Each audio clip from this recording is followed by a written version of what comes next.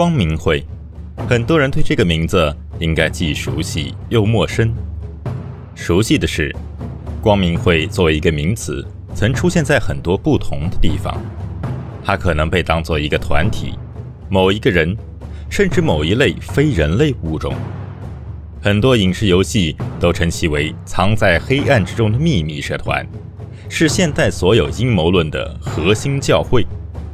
但陌生的是，这个教会除了上述那些事，没人知道他的理念、他的仪式、他创立的原因和背景都是什么。这个光明会究竟是个什么组织？而多次与他共同出现的共济会，两者又是什么关系呢？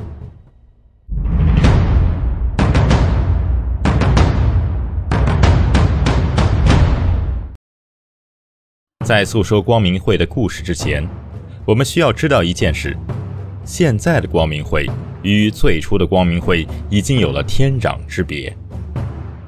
在18世纪70年代启蒙运动时期，德国巴伐利亚的实践哲学教授亚当·维萨普激发了法国哲学的理想，宣传启蒙主义的人类伦理是个可完成的建设，但他深知仅靠个人力量是远远不够的。因此，他试图进入在当时非常有影响力的共济会，但不幸的是，当时他遇到了一个说大不大、说小不小的一个现实问题，就是没钱。一分钱难倒英雄汉。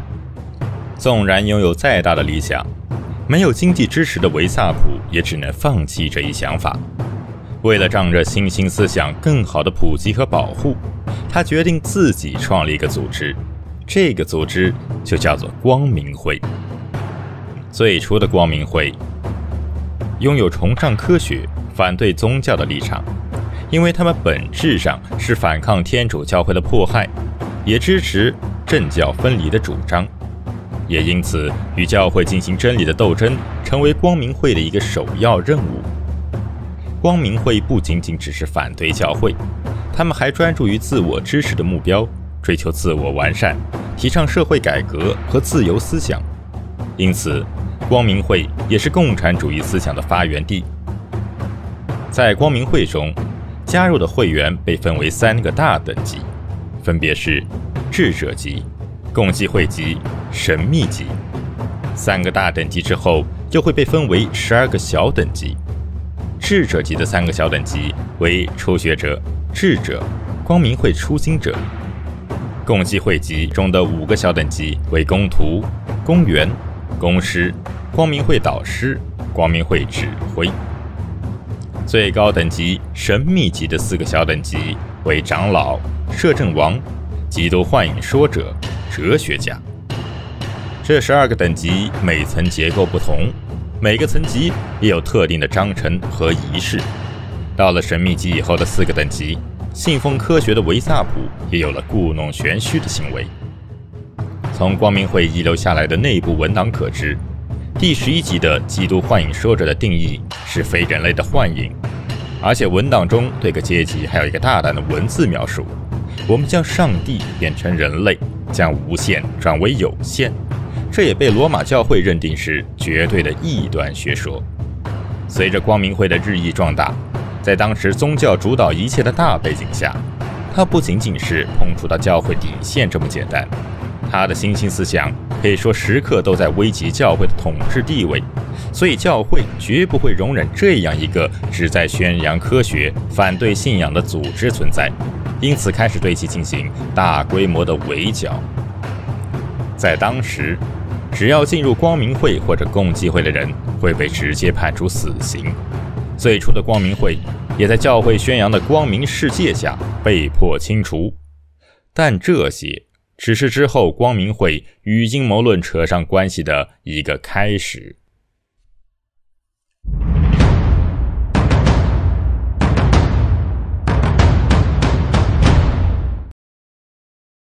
要想深入了解现如今的光明会，有另外一个神秘教会不得不提，它就是共济会。共济会的创立要早光明会许多，还有中世纪末英格兰地区的石匠行业协会演变而来。最初的目的也是为了争夺无产阶级工人的权益，因此在当时也受到了教会的打压和迫害。虽然光明会与共济会是两个不同的组织，但因为共同的目标，也就是防止教会的迫害，两个教会的人慢慢走到一起。一七八零年，德国贵族，同是共济会成员的阿道夫·科尼格加入了光明会组织。作为第一个横跨两个教会的成员，他将共济会的优势带入到光明会之中，同时也将光明会的体系引入到共济会之中。由于共济会最初的圣殿骑士体系被废除，所以科尼格带着一些光明会组织的成员取代了共济会的玫瑰十字团，在新的共济会体系中获得了领导地位。慢慢的，很多光明会成员加入到共济会。同样，共济会的成员也加入了光明会。在当时，光明会的成员有两千人左右，其中百分之三十三都是共济会的成员。但之后，科尼格与光明会的创建者维萨普闹掰，两人不欢而散。再加上当时教会的打压，光明会最先宣布解散。同是兄弟会的共济会也好不到哪去。但因为更悠久的历史以及更丰富的人脉资源，共济会算是勉强存活下来。光明会虽然名义上宣布解散，包括创始人维萨普都开始了流亡生涯，但因为共济会成员中有些同是光明会成员，所以光明会在共济会中秘密复辟。至于是谁重新复辟了光明会，至今已经无从而知。从目前光明会的情况里看，复辟光明会那批人的观点肯定与最初的创立者维萨普观念不同。但无论如何，他们都与目前市面上所流传的光明会传说关系不大，或者可以说是妖魔化了光明会成员的面目。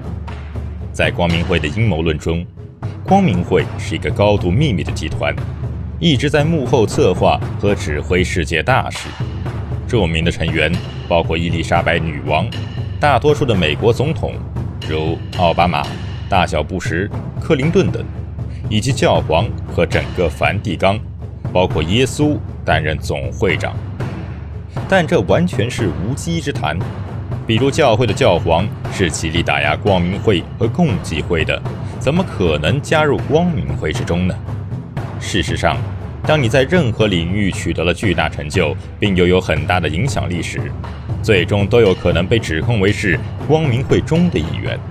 他们都被指控为撒旦主义者、耶稣会士、犹太复国主义者、外星人或资本家。大多数人一提到光明会，就习惯于银行、石油、制药公司等大型企业之间产生联系。他们所指的。其实就是统治着社会各个方面的富裕阶级。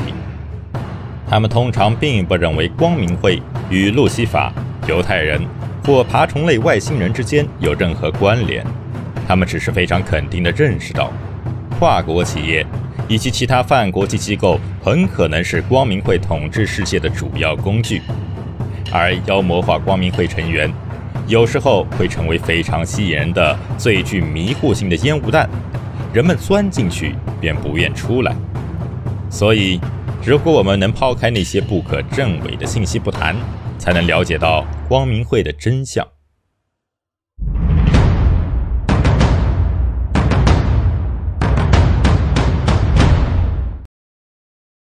有烟的地方就有火，黑暗是无处不在的。虽然光明会不像阴谋论中描述的那样恐怖。但光明会的确在利用手中的权力控制我们、统治我们。统治阶级的存在并不为大众所知，他们所拥有的真正力量和影响常常被低估。我们必须意识到，很多事情都绝非偶然。现代光明会往往以家族形式出现，代表的是极少数人，他们已经形成了非常高度的组织化和集中化。根据杰米·约翰逊所做的《身为富人》一书中揭露，光明会决策者、推动者和颠覆者早已被家族所控制。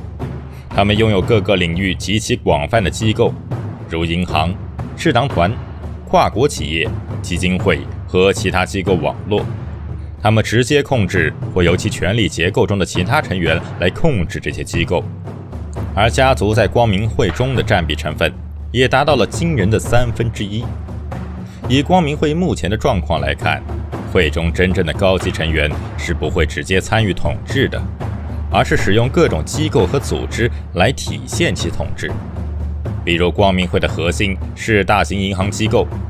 六大银行的总资产相当于 GDP 的百分之六十，而这六家银行又拿走了全部公司利润的百分之四十。在金融危机之后，没有任何一位华尔街高管被判犯有任何不当行为，这表明了他们权力的范围和深度，以及他们的触角伸得有多广。其他的，例如上市企业、石油集团、餐饮业、媒体舆论等。都在为这些家族成员服务，而人们身边的委员会等总投资人也基本牢牢把握在光明会家族成员手中。而正因为他们手中权力过于巨大，才导致光明会与世间各种阴谋论扯上关系。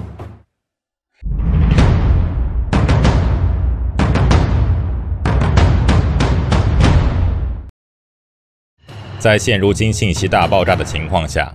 阴谋与我们如影随形。说到底，阴谋论的盛行是因为它填补了一些因为未知或者未得到解释的事情而形成的空白。